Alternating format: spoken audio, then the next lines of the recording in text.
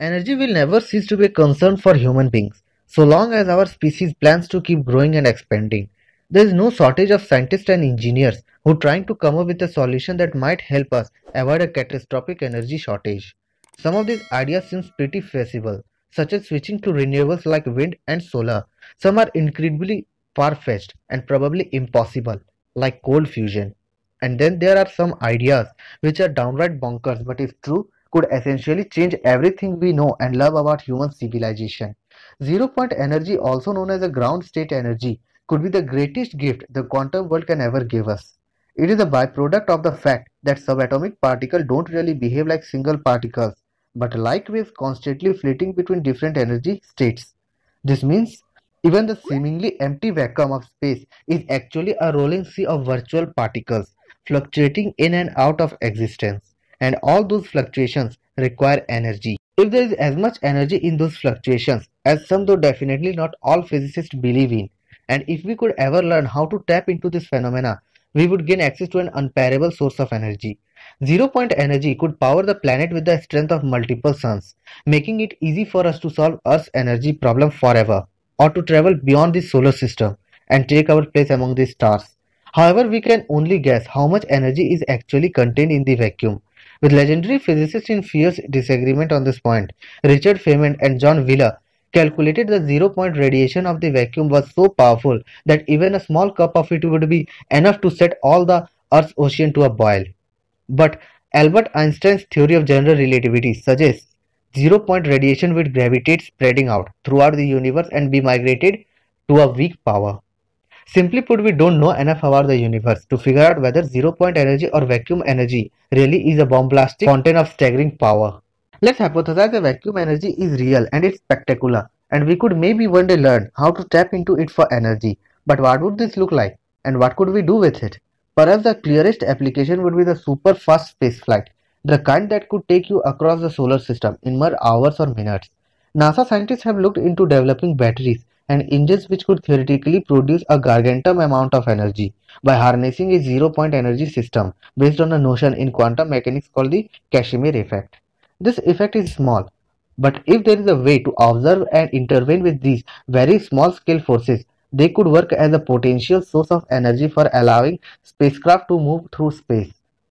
There have been many different groups that pitch different ideas, but perhaps the most reasonable finding have come out of NASA's Eagleworks Laboratories which claim to have successfully tested a quantum vacuum plasma thruster. This Q thruster, as outlined by a study that passed peer review last year, takes advantage of the Casimir effect to create propulsion.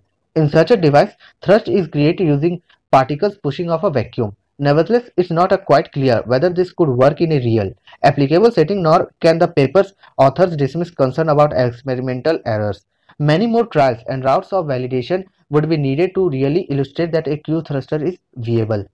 It's a bit strange to think that centuries after the idea of an ether permeating through the world was debunked, physics has came around to say that perhaps there is a universal energy stuck in the empty space all over. It would be a mighty grand thing to find ourselves grasping at that vacuum for an unheard amount of energy. But that's all pretty far away from humanity reach for now. For the foreseeable future, it's probably best to continue banking on solar and wind as acceptable sources of energy. The origin of zero-point energy is the Heisenberg uncertainty principle, which states that for a moving particle such as an electron, the more precisely one measures the position, the less exact the best possible measurement of its momentum, and vice versa. The least possible uncertainty of position time momentum is specified by Planck's constant. A parallel uncertainty exists between measurements involving time and energy. This minimum uncertainty is not due to any correctable flaws in measurement, but rather reflects an intrinsic quantum fuzziness in the very nature of energy and matter springing from the wave nature of the various quantum fields. This led to a concept of zero-point energy. Zero-point energy is the energy that remains when all other energy is removed from a system. Electromagnetic radiations can be pictured as a wave flowing through a space at the speed of light.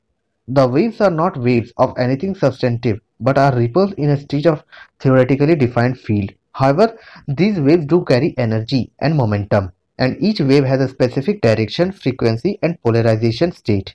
Each wave represents a propagating mode of electromagnetic field. Each mode is equivalent to a harmonic oscillator and is thus subject to a Heisenberg uncertainty principle.